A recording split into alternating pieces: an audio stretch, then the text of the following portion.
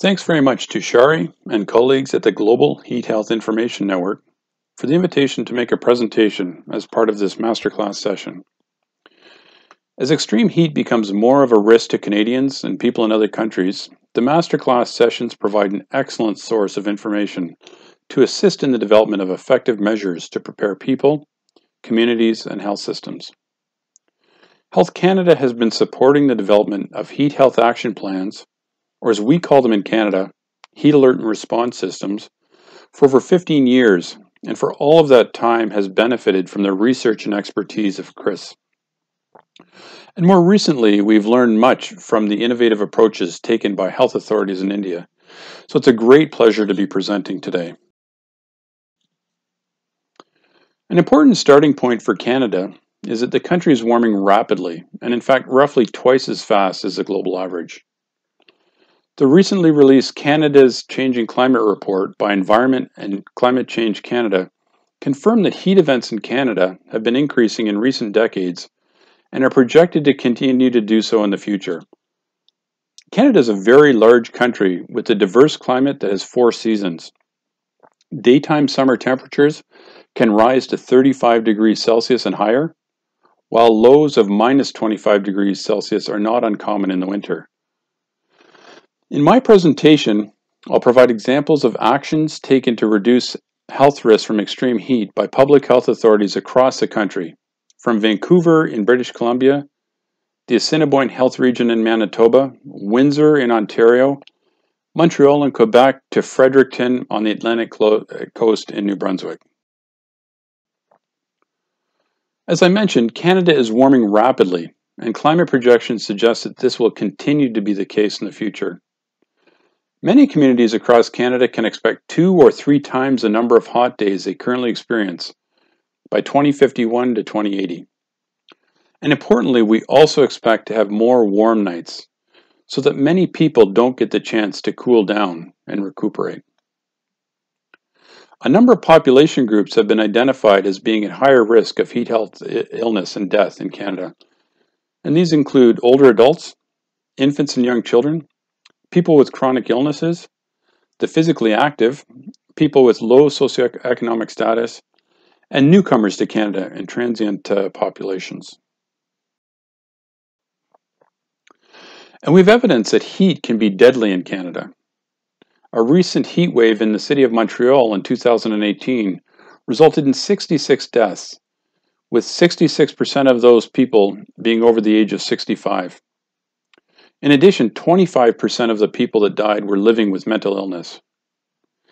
Heat waves dangerous to health occur in many Canadian communities every year.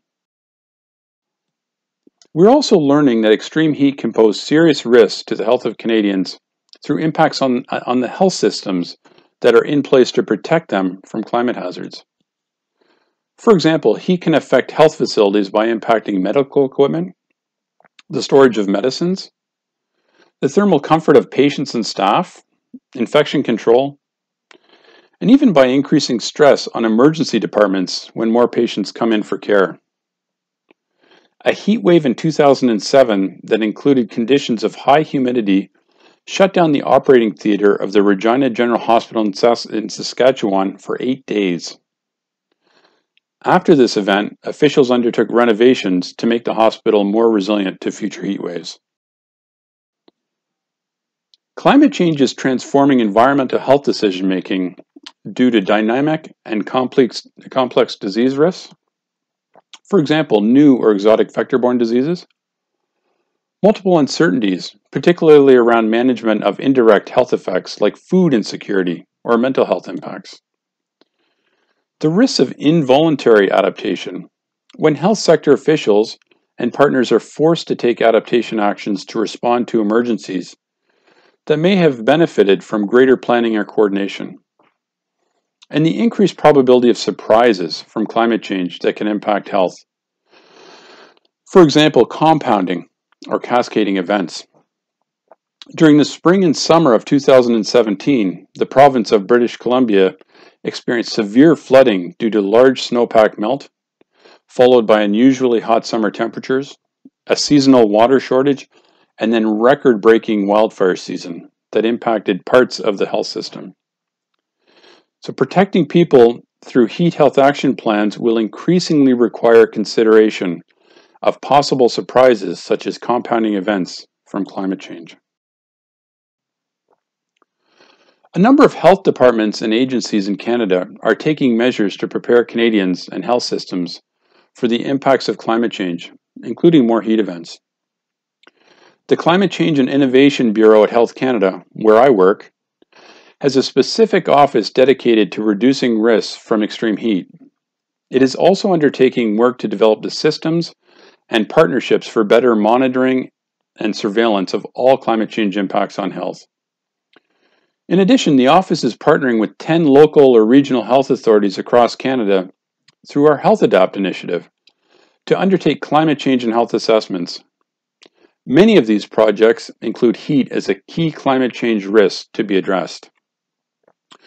Other federal health partners include Indigenous Services Canada, that leads the Climate Change and Health Adaptation Program for First Nations and Inuit communities, the Public Health Agency of Canada, that focuses on the impacts of climate change on infectious diseases, such as vector borne diseases, and the Canadian Institutes for Health Research, which is supporting research on food security in the north and Lyme disease.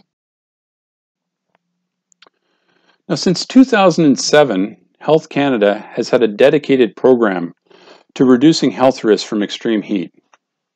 The three pillars of this approach have been Broad outreach to partners, for example, through a series of webinars on how to cool communities through alterations to the built environment. Providing guidance and expertise, such as best practice guidance for developing heat health action plans, which I'll describe shortly. But also guidance on how to conduct community assessments of vulnerability to extreme heat, and guidance on how to communicate heat health risks to the public and to stakeholders. I believe links to these materials have been provided on the GIN website. The third pillar has been federal leadership to help facilitate and coordinate actions among a range of partners. For example, in 2011, Health Canada collaborated with, the, with public health units across Ontario, the Provincial Health Ministry, and the Clean Air Partnership in Ontario to develop a harmonized heat warning system for the province basically to avoid confusion among the public when warnings were called. So this is the guidance document that Health Canada developed for local and regional health authorities in Canada to help with the development of these plans. The development of the document benefited greatly from guidance provided by the World Health Organization and other partners. It includes detailed information on developing an alert protocol for calling alerts, developing an effective community response plan, such as opening cooling centers and outreach to vulnerable populations, developing a communications plan to support all of the activities, and developing an approach for evaluating the system to make sure it's effective. As Chris mentioned in her presentation, this is increasingly important as the climate continues to warm. The document also provides information on taking preventative actions, such as modifications to the built environment to reduce the urban heat island effect, which can reduce exposures to hot temperatures before heat illness occurs. Health Canada has worked very closely with the Meteorological Service of Canada over many years to develop or to build resilience to heat events in Canada. Health Canada and the MSC worked with public health authorities to develop a more robust heat warning system in Canada, one that was based on evidence of health impact thresholds from heat. The map on the left shows the single national climatological based criteria system that was revised to be more sensitive to specific differences in heat health thresholds at regional levels across the country. And this led to more consistent and coherent communications, and the development of a national standard level of services for partners. Heat health action plans need to be tailored to the local context based upon the needs of vulnerable populations, other climate hazards of concern, available resources, and such. Since the first plans were developed in Canada in the late 1990s, a number of health authorities have developed many innovative actions to protect their populations from extreme heat based on the local context. For example, many cities distribute heat health brochures. The city of Fredericton included them in their spring water utility bills so that people receive them before the heat season. The updated brochure includes information now on COVID 19 considerations. Montreal Public Health provides advice to the public to help protect children and people with mental illness from the heat. The City of Hamilton has worked with landlords in apartment buildings to provide common cooling spaces for people with air conditioning. And the Assiniboine Regional Health Authority in the province of Manitoba identifies volunteers to transport vulnerable populations to cooling centers and for water distribution. The Heat and Health Office at Health Canada continues to work with a range of partners to facilitate actions to protect health. For example, collaboration with the province of Newfoundland and Labrador to help develop responses and communications around outdoor summer athletic events. Events that can attract large numbers of people and increase dangers from extreme heat. The office has also worked with health officials in the province of Nova Scotia to support the development of a provincial extreme heat action plan. This will include a community-based heat alert response system demonstration project, which will provide a framework that could be used in other jurisdictions. Work is also ongoing with partners at Interior Health Authority in British Columbia to develop a heat health action plan for rural communities. Rural and isolated communities can face particular challenges to protecting health from extreme heat, such as a lack of cooling centers and challenges in communicating alerts in a timely manner. So it's hoped that this project will benefit other such communities in Canada. Now, health authorities need to work closely with part partners outside of the health sector to be effective in reducing risk from extreme heat. An interesting example of such collaboration is the work that was undertaken in Windsor, Ontario, whereby maps of the urban heat island effect in the city were developed, along with information on heat health vulnerability due to other factors. This information was, used to develop recommendations about how best to make communities cooler during the hot season and thereby safer. In addition, the thermal comfort of six parks where children play was also assessed in the city, and five of the parks were retrofitted to reduce risks from extreme heat. And many of you are aware that the warming climate is also a growing risk to workers, people that work in hot conditions outdoors or indoors. This slide provides information on a heat stress self-assessment tool for workers in Quebec that can be used to understand their health risks from hot temperatures. The tool includes consideration of temperature and humidity, sunshine exposure, clothing, and type of work, and then is divided into, into risk levels from lowest, which is green, to the highest, which is red. And then information is provided based on the assessed risk level, on recommended water intake, and employee and, and employer actions that can be taken to protect health.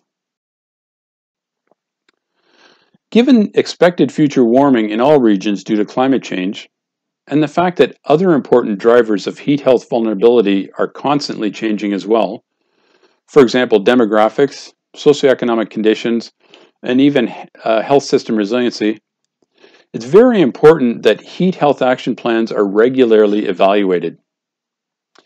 The Institut National de Santé Publique in Quebec has developed a guide for evaluating warning systems to protect people from heat and smog. And Health Canada provides advice on undertaking evaluations in its Heat Alert and Response Best Practices Guidance document. Information, including suggested indicators for undertaking process evaluations, so for example, did the system perform well, and outcome evaluations, did the system actually reduce negative health outcomes over time, are provided. The table on this slide provides some examples of potential indicators that can be used to undertake these evaluations. In Canada, health authorities in Toronto and Montreal have reported success of these systems leading to an increased awareness of risk to health from heat and the uptake of health protective behaviors such as drinking water, checking for alerts, wearing looser clothing, and seeking cooler locations. This figures from a study of the Toronto system that demonstrated that in 2010, 70 percent of people responding to a survey reported undertaking eight of the public health recommendations after receiving heat health messaging during an alert. This suggests that the heat health warning system is leading to behavioral changes among many people. Now, there are many challenges that can be faced in the development of heat health action plans. Some examples include data accessibility and limitations. For example, having robust information on heat related morbidity and mortality, or accessibility to meteorological forecasts, but also engaging stakeholders and maintaining their interest in heat health activities over time, and limited understanding of heat health risks among the public community health officials, and healthcare providers. I think mechanisms like the Global Heat Health Information Network or Health Canada's Heat Health Community of Practice are excellent opportunities to facilitate the sharing of information to help address these challenges. And I should also mention that the increasing number of climate change and health assessments from local to national levels can be an excellent source of information and an excellent uh, broad engagement opportunity to help develop heat health action plans and address some of these challenges. Now, maybe of some interest to, to people that Health Canada is leading the development of the next National Climate Change and Health Assessment, which will be released next year. The assessment will include updated information on heat health risk to Canadians, risk from climate change to health systems, and options for taking adaptation measures to protect uh, to build climate resilience. It is expected that the results will support future development and revision of heat health warning plans in Canada. As I close my presentation, I just want to provide you with information on heat health information products from Health Canada that you may find of some interest. They include Staying Healthy uh, in uh, the heat infographics, brochures for higher risk populations, and an extreme heat awareness video. All of these are available for download from the internet. I also want to leave you with what I think are some important questions to consider as you move forward with actions to pre uh, prepare for the health impacts of climate change, including from extreme heat. How will you regularly integrate information about risks, vulnerabilities, and adaptations into your, into your activities to make sure that they are effective moving forward? Will you be ready to respond to more climate change and health surprises? And how can you build this capability? These are the kinds of surprises that I mentioned uh, earlier in my presentation. How can you best foster key partnerships that will inc increase your capacity to protect health for example, with officials from outside of the health sector? And how will you safeguard your health and that of your colleagues as risks increase? For example, stresses to mental health, which may increase. So with that, I would like to thank again colleagues at the Global Heat Health Information Network for the opportunity to make this presentation. And a big thanks to my colleagues Sean Donaldson and Victor Gallant from Health Canada, and Melissa McDonald from the Meteorological Service of Canada for assisting with the development of this presentation. And I've included references in the next couple of slides to a number of the sources that I've mentioned in my presentation for people in case they uh, use. I hope this uh, presentation was helpful and I really appreciate, again, the opportunity to uh, have provided it. Thank you very much.